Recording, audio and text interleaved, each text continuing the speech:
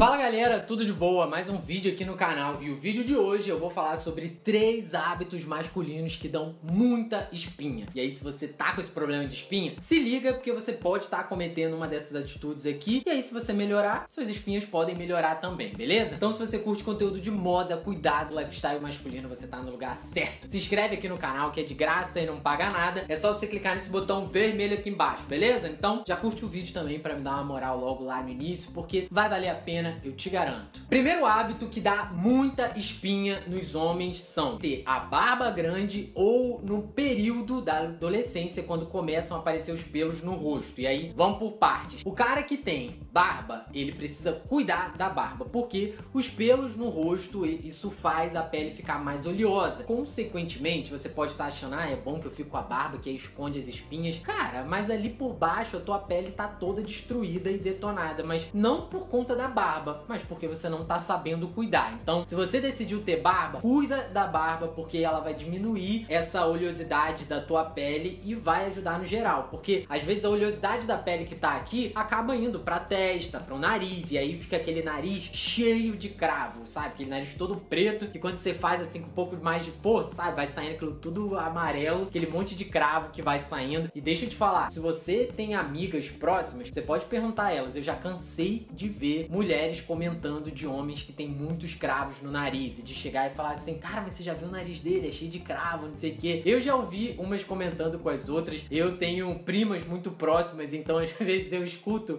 essas conversas delas e assim, cara, é, as mulheres se incomodam muito com esse lance de espinha. Então vai muito além desse lance da gente de repente tá com a espinha ali, ah, eu não ligo. Mas de repente você pode estar procurando um relacionamento e você não tá conseguindo por conta da tua aparência, beleza? Então você tem que dar um tapa no teu visual aí, na tua higiene, na tua limpeza, na tua pele, né? Cê, vamos resolvendo um problema de cada vez e de repente a gente consegue resolver um problema maior lá na frente. Então, isso aqui é o lance de quem tem barba. E aí a questão dos adolescentes, quando começam a aparecer pelos no rosto, de início fica tipo aquela penugem, aquele pelo bem fininho e tal. E aí ele fica na dúvida, cara, eu aparo, eu, eu raspo, eu aparo, o que que eu faço? De repente não tem um pai, uma mãe tão presente ali para chegar e falar, cara, tira isso, ou vamos, vamos vem cá que eu vou te ensinar. E aí fica na dúvida essa penugem que fica ali no rosto, e isso acaba fazendo o quê? Acúmulo de oleosidade. E aí é onde vem as espinhas. Eu tô falando isso porque eu recebo comentários de vocês aqui nos vídeos, lá no Instagram também. Se você não me segue no Instagram, me segue por lá que eu tô sempre falando sobre esses assuntos por lá também. Geralmente tem adolescente me perguntando, Thiago, o que, que eu faço? Como é que eu faço barba e tal? Mas esses dias teve um comentário que eu achei bem diferente, que foi de um. Ele tava contando que ele tinha, como tinha começado a nascer barba no rosto dele. E ele falou que tava muito fininho, tava só aquela sombra e tal. Que ele queria tirar, mas a mãe dele falando que era melhor ele não tirar agora porque ia engrossar. Gente, isso não faz sentido nenhum. É diferente de uma menina, né? De repente que, sei lá, não quer raspar embaixo do braço porque o pelo vai engrossar, então melhor crescer para depois depilar. Beleza, mas pra um, pra um homem, de repente, não raspar a barba porque vai engrossar, isso não faz sentido nenhum. Ou você vai raspar e ela vai engrossar e você vai ser um homem que tem barba, ou você vai raspar e a sua barba não vai pra frente, ou você vai, vai raspar, vai engrossar e depois você vai fazer uma depilação, fazer uma depilação a laser, enfim, mas você precisa tirar essa penugem que tá ali, porque, né, aquilo não é nem uma barba, não é um pelo, é um pentelho na tua cara.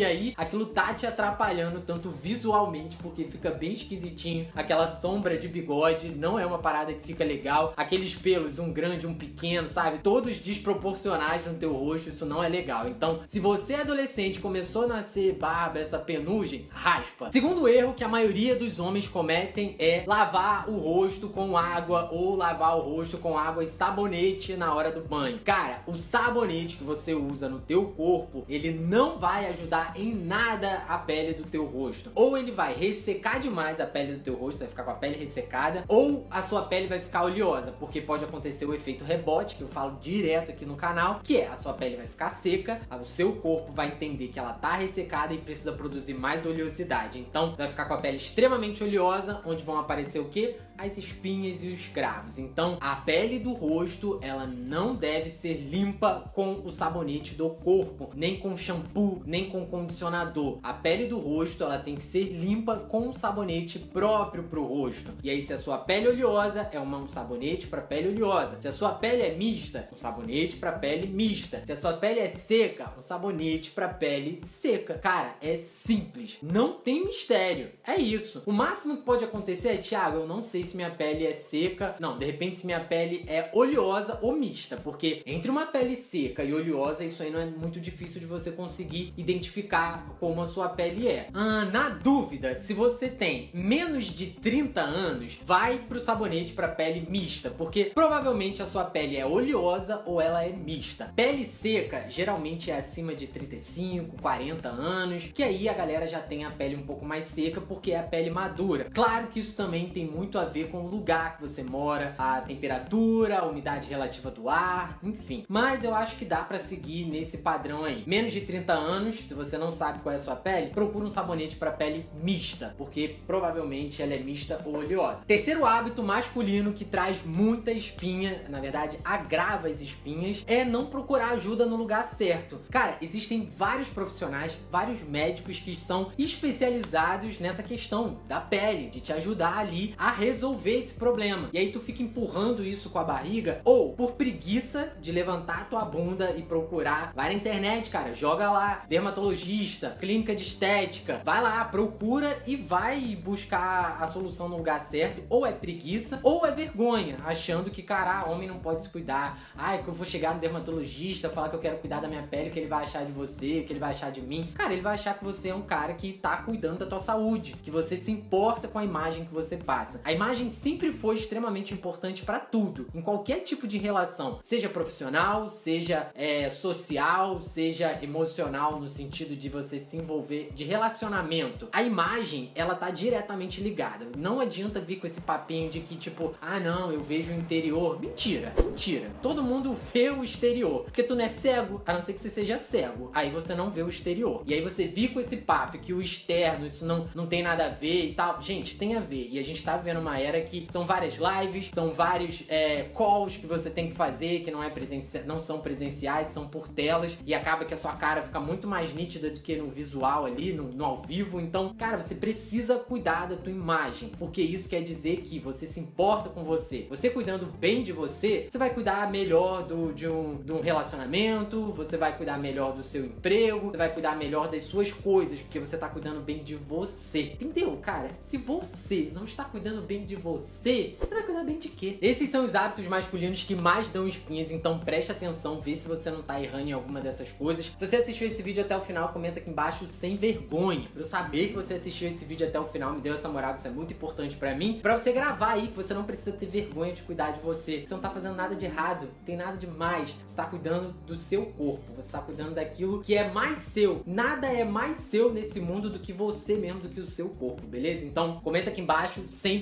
Então é isso, a gente se vê no próximo vídeo. Fui!